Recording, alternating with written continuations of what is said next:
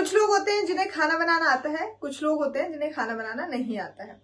कुछ लोग जिनको खाना बनाना नहीं आता है, जला भूना जैसा भी खाना मिले, वो खा लेते हैं। क्यों? क्योंकि भाई पेट भरना होता है। लेकिन शार्क टैग इंडिया, इसके सीज़न थ्री में एक ऐसा बिज़नेस आइडिया निकलकर सामने आया है, जिसमें मशीन के थ्रू आप आसानी से लाजवाब टेस्टी खाना बना सकते हैं। बहुत ही ज़्यादा इजी होगी इसमें आपको कुकिंग लेकिन कुछ कोई आइडिया बहुत अच्छा लगा है कुछ शख्स को, कुछ कोई आइडिया बिल्कुल भी नहीं भाया है। चलिए बताते हैं आपको क्या आखिर कौन है शख्स जिन्होंने ये आइडिया लेकर आए हैं कि किस तरह से आप आसानी से कुकिंग कर सकते हैं। आप भी सोच रहे होंगे कि कैसे करेंगे? बिना ट्रेनिंग के अगर खाना नहीं आता है तो बिना ट्रेनिंग के आप कुकिंग कैसे करेंगे? लेकिन एक ऐसा ज़बरदस्त आइडिया है इनके पास जिससे आपके लिए कुकिंग हो जाएगी और भी इजी खाना बनाना सबके बस की बात नहीं होती, ये तो सभी जानते हैं। यहाँ ये सवाल फिर क्यों आ रहा है कि खरीद कर खाएँ या कुक से बनाएँ?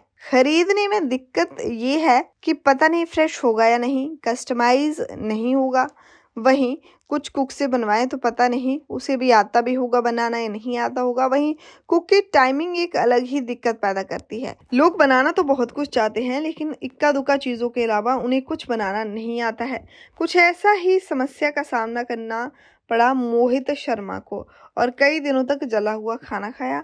लेकिन आपको जला हुआ खाना नहीं खाना पड़ेगा, क्योंकि खाना बनाने का काम करेगा यूप्लायंस हाल में ही शार्क टैंक इंडिया के सीज़न थ्री में ये स्टार्टअप सामने आया है। आपको बता दें कि यूप्लायंस की शुरुआत जुलाई 2021 में मेघ मोदी और मोहित शर्मा ने की थी। करीब 35 साल की उम्र में दोनों ही को फाउंडर ने इस प्रोजेक्ट को बनाने के लिए अपनी साठ सत्तर लाख की पैकेज वाली नौकरी तक छोड़ दी थी।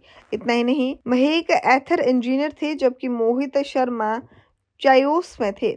बता दें कि दोनों ही एक दूसरे के करीब थे, सत्रह सालों से एक दूसरे को जानते थे और आईआईटी बॉम्बे से पढ़े हुए थे। जनवरी 2023 में कंपनी ने प्रोडक्ट को शिप करना शुरू किया और अब तक करीबन एक दशमलव सात करोड़ का रेवेन्यू हासिल कर चुके हैं। कंपनी अभी भी प्रोडक्ट्स को देश में शिप कर रही है। महक मोदी मुंबई में रहते हैं और मोहित शर्मा बेंगलुरु के रहने वाले हैं। जब मोहित को शुरुआत में खाना बनाना वो सीख रहे थे तो रोज जला हुआ खाना खाते थे। उसके बाद उन्होंने एक ऐसी मशीन पर काम करना शुरू किया, जो वक्त पर चाय बनाने वाली मशीन जैसी हो, जिसके बाद चायूस ने उन्हें ले लिया। बाद में एक वक्त ऐसा आया जब मोहित और महेक ने कुछ अलग करने की सोची। दोनों ने देखा कि खाने के मार्केट में अभी भी टेक्नोलॉजी बहुत कम है और इसमें कंपटीशन भी कम है।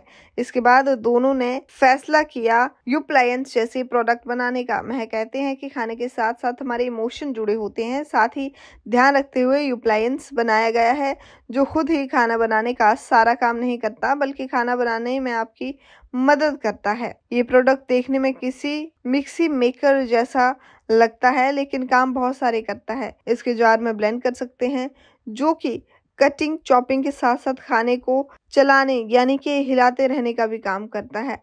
इसके साथ ही इसके ब्लेड की स्पीड भी काफ़ी ज़्यादा कंट्रोल की जा सकती है, जिसका कंपनी के पास पेटेंट भी है। इसमें वाइब्रेशन के सेंसर लगे हुए हैं। साथ ही इसमें हीटिंग का भी विकल्प है, जो कि खाना पकाता है और कंपनी के पास उसका भी पेटेंट है। डिवाइस पर एक टच स्क्रीन भी है, जो बताती रहती है कि आपको अलग अलग रेसिपी के हिसाब से कब क्या डालना है और कितना डालना है।